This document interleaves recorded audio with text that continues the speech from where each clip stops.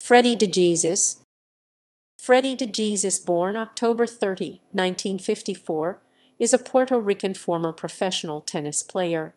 Born in San Juan, de Jesús was a junior Orange Bowl winner in 1966, then in 1968 won the 14's Easter Bowl title for the tournament's inaugural year.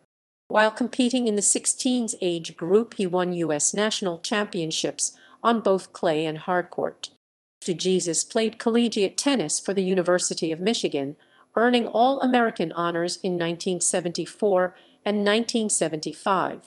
At the 1975 Pan American Games in Mexico City, de Jesús won two medals for Puerto Rico. He beat Chile's Álvaro Fillol in the bronze medal playoff and partnering Maria Annexy was runner-up in the mixed doubles to Lele Forood and Hank Pfister.